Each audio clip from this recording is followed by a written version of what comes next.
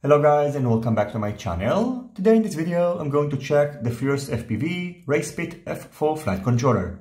This flight controller packs a couple of very interesting features and today in this video I'm going to go over them and over its specs and soon I'm going to feature it in a build video. Inside the box you can find the flight controller and as you can see the soft mounts are already inserted to the M3 mounting holes. In addition, you're also going to find the connection diagram and in the final version, you're also going to get some spacers and screws and a harness for connecting the flight controller with the 4-in-1 ESC. The weight of the flight controller is about 7 grams. The distance between the M3 mounting holes is 30.5 millimeters and its outer dimensions are 36.9 by 36.9 by 6 millimeters. The board that I have came pre-flashed with Betaflight 4 and it's running STM32 F45 firmware. As I mentioned before, the Racepit flight controller packs a couple of interesting features. So first of all, it features a built-in camera switcher. So on the front of the board, you can find camera 1 and camera 2 video in inputs.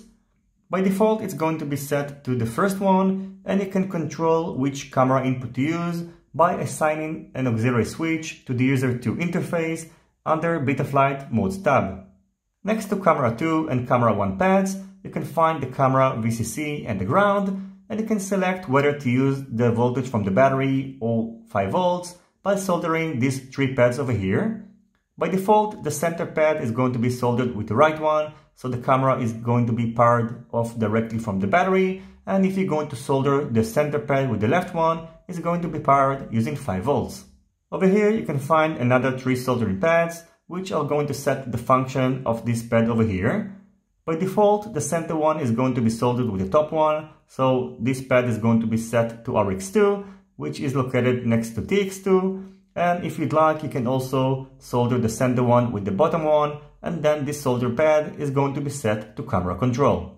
Another nice feature is that this flight controller features both an 8-pins connector for connecting the flight controller with a 4-in-1 ESC, and you can also find the appropriate soldering pads next to it, so in case the connector breaks, you can simply use them.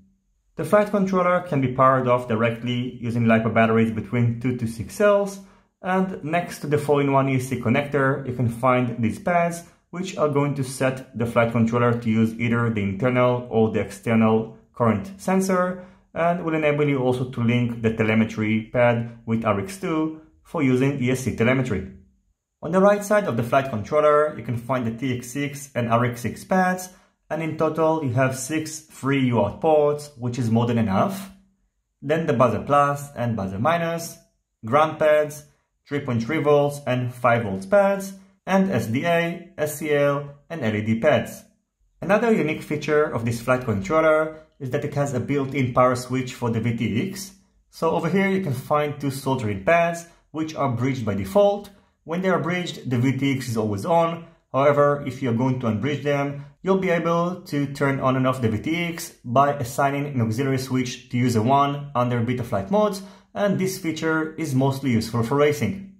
The VTX can be either powered using 5 volts or the battery voltage, so over here you can find three soldering pads and by default they are not soldered so you should pay attention that you will need to either solder the center one with the top one in order to power the VTX directly from the battery or solder the center one with the bottom one in order to power it using 5 volts. Next you can find the pads for the VTX which are designed to align with the pads of the TBS Unify Pro Nano. Over here you can find two boot pads that you will have to bridge in order to enter DFU mode so as you can see, Furious FPV chose not to include a physical button.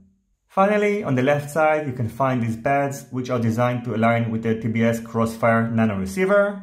And over here, you can find pads for connecting other types of receivers, so you can power the receiver using 5 volts or 3.3 volts, and you can choose whether to use S-bus inversion or not. By default, it's set to S-bus inversion, so you can see that the center pad is soldered with the right one, and if you simply want to set it to RX3 without using any S-bus inversion, desolder these two pads and solder the center pad with the left one. After soldering the TBS Unify Pro Nano VTX and the Crossfire Nano receiver, the total weight is just over 9 grams and this is a very neat way of organizing the stack and also it creates a very slim profile. Overall, priced at $35, the Furious FPV Race offers a great value for money. It packs pretty much every available option in the market, and it's especially going to be good for you if you are a racer or if you want to build a cheater quad using the built-in camera switcher. So I'm looking forward to see how this flight controller is going to perform, and I'm going to feature it in a build video in the next few days. I just got the new TBS Stardust frame. It's made out of molded carbon, and it's also very light and I'm going to use this flight controller in order to create an extremely light build. As always, I thank you for watching my video, I hope you enjoyed it and you find it useful. If you have any questions, feel free to ask them in the comment section down below. Don't forget to leave a thumbs up if you like this video and consider subscribing to my channel and hitting the notification bell if you're not already subscribed. See you in my next videos and goodbye.